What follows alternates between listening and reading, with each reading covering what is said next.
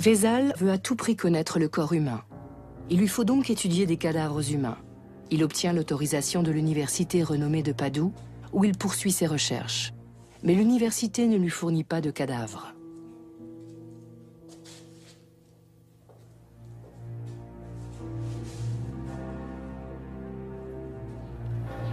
En effet, selon les instructions du pape, il est toujours interdit d'étudier les cadavres humains.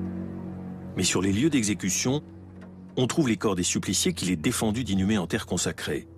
Il est interdit aussi de les emporter. Qui se préoccupe de ces morts?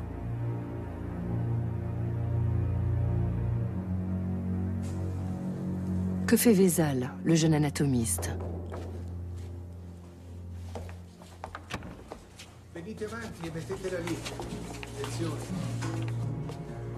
Il fait affaire avec des individus peu recommandables. Ecco i soldi, andate adesso.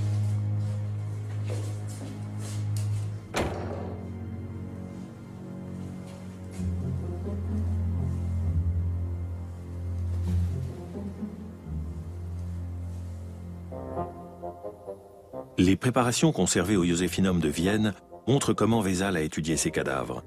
Une couche après l'autre, une incision après l'autre, le corps humain révèle la manière dont il fonctionne.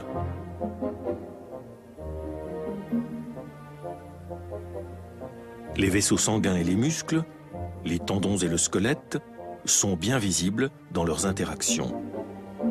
Avec Vézal commence une ère nouvelle pour la médecine. L'anatomie devient une matière essentielle pour les études médicales. À l'âge de 23 ans, Vézal est nommé professeur à Padoue. La réputation de la faculté de médecine de Padoue va grandissante depuis que Vézal y enseigne. Des étudiants venus de toute l'Europe se pressent pour assister à ces cours d'anatomie. La salle où ils avaient lieu a été conservée jusqu'à nos jours.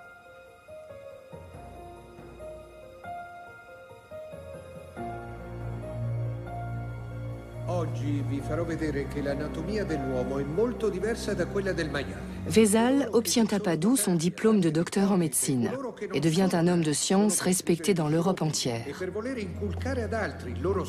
il réalise des dissections publiques. Ces démonstrations d'anatomie sont dans la ville un événement très couru. Vézal pratique lui-même les incisions.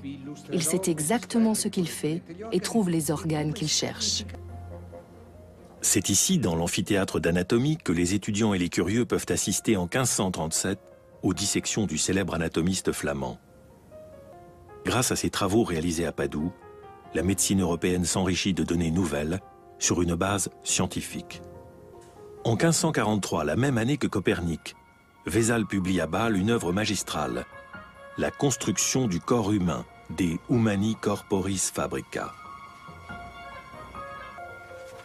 Il démontre dans ces pages que l'étude des cadavres est la seule manière fiable de faire progresser la connaissance du corps humain. Il est le premier à avoir écrit un ouvrage pédagogique concernant l'anatomie humaine. Grâce à ses recherches, il surpasse les anciens et corrige leurs erreurs, qui avaient été pendant des millénaires la seule référence. Il devient l'un des médecins les plus en vue en Europe et soigne même la noblesse à la cour d'Espagne. Vézal a bien plus d'expérience que la plupart de ses collègues. Souvent, il sait d'avance qu'il n'y a plus d'espoir. Les familles trouvent suspect que Vézal en sache plus que ce qu'elles voient. Afin de confirmer son diagnostic, Vézal devrait pouvoir faire immédiatement l'autopsie du défunt. Mais ni les familles ni l'Église ne l'y autorisent.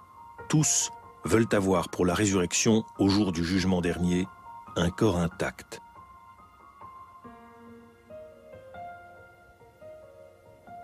La tradition et la foi s'opposent souvent à la soif de connaissance de l'anatomiste.